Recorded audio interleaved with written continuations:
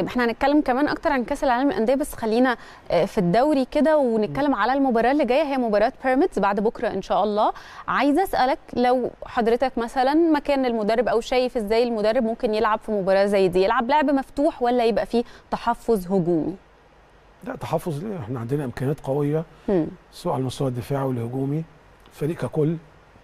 لا مفيش شك إحنا نفس الكلام اللي قلناه في البداية. النادي الأهلي أكيد بيلعب على البطولة.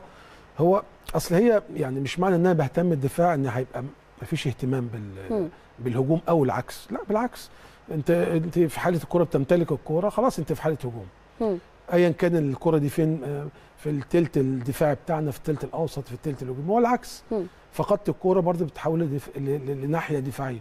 فهي التوازن ده لازم يكون موجود والتحول يكون بشكل كبير سريع.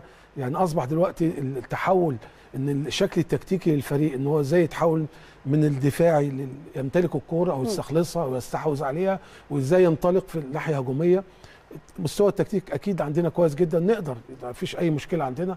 نقدر إن التحول ده يكون فعال ويتم بشكل سريع وشكل منظم. والعكس برضه فقدنا الكورة برضو التحول من الهجوم للدفاع. أكيد حيت...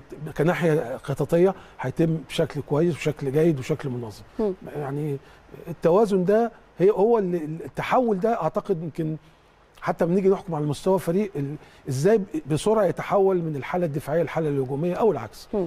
كل ما كان المستوى التكتيكي مرتفع بتيجي التنفيذ بيبقى سهل على اللعيبة.